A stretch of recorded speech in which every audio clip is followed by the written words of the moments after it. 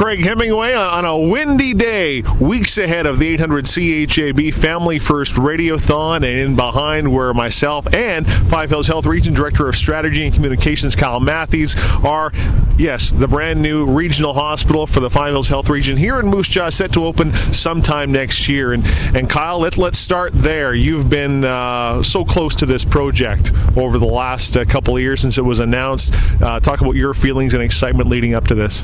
Well, it, yeah, it really is exciting. For I think for those of us that are attached to it, it's important to step back every once in a while and remember how exciting it is because when you're mixed in with the details and all the planning, it's easy to lose sight of just how fantastic this is for Moose Jaw and our whole region. So, yeah, it's very exciting. And talk about uh, you know your role through this whole thing, uh, strategy and communications, trying to help with some of the planning, and then of course uh, communicate that to to those of us. Yeah, you know what? It's been uh, it's been challenging for sure, be, um, and and a great opportunity at the same time. So I've been been uh, really involved in the planning. I've been involved in the, the big events that we've held with where we've brought all of our staff members in to uh, and public members of the public to help design our facility. I was quite involved there, but then also trying to tell that story about how our new hospital will function. And uh, as much as it's a really exciting thing, part we're making a lot of changes to the way that we're delivering care, and so we want to we want to help people understand how that's going to work and how how beneficial that's going to be to, to uh, the public in the end. Uh, describe to us some of the public feedback you've received and some of the, the most asked questions. Well, most asked question, without a doubt, uh, is about parking. And uh, what? Yeah. so I always tell I always tell people, you know, our current hospital sits on just under six acres of land, and uh, when we when we bought up here, we bought 30 acres of land. So we have more than enough land to make sure that we have enough parking. So uh, that that definitely is the big question that people have.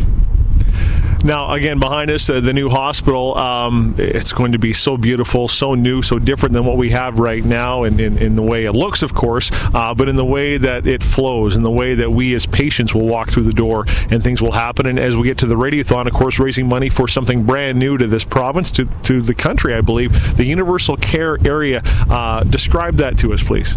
Well, the Universal Care Area, like you said, is is new, um, new to Canada, but it, it does exist in other places, and it's not really really a complicated uh, idea. What we're trying to do is bring all the services that would be called outpatient services, where people come in and they they need whatever that service is, be it emergency or uh, day surgery or uh, ambulatory care, these kinds of things. And we've tried to bring those into the same same area.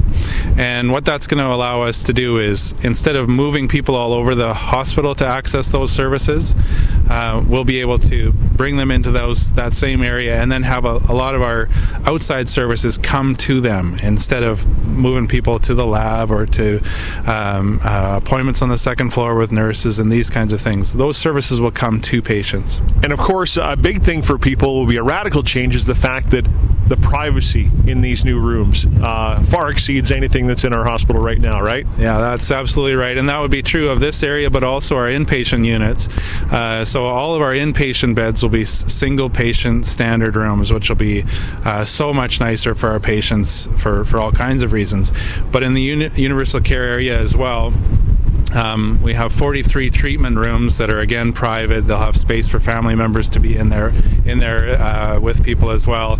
And unlike what happens in our current hospital, uh, if you're coming in for day surgery where there's a lot of people around you, again, this is very private for people. And, and once you're once you've been admitted into that treatment room, uh, you'll have a very uh, confidential, private experience all your way to the operating room. So much better for patients. Such an exciting time and an exciting time here, weeks away away from the Family First Radiothon, which is happening May 1st and 2nd at the Town and Country Mall, our eighth annual. And all the money we're raising this year is going towards new equipment for the Universal Care Area, which you just uh, described to us, Kyle. Uh, and you've been around for how many radiothons now since you uh, took this post in Moose Jaw? Uh, this will be my third. Yeah, and uh, you know the radiothon is such a uh, such an important part of the uh, Moose Jaw Health Foundation's work, and of course your your partnership with CHAB. Um, and from the, the region's perspective, it's such a great affirmation of the importance of healthcare in our communities. And uh, the community certainly responds every year in such overwhelming ways and generosity. Now, we're looking forward to it, and there are many ways that, that you can help the Radiothon. If you'd like to have a fundraiser for the Radiothon, you can let us know about it. You can click the CHAB page at discovermoosejaw.com or just come Radiothon time. Visit us at the Town and Country Mall May 1st or May 2nd, starting 6 a.m. on the 1st. Uh, and of course, the phone number will be 691 GIVE. Kyle Matthies, uh, thanks for joining us today, and we'll, we'll see you on May 1st and 2nd. Absolutely my pleasure, Craig. Thanks.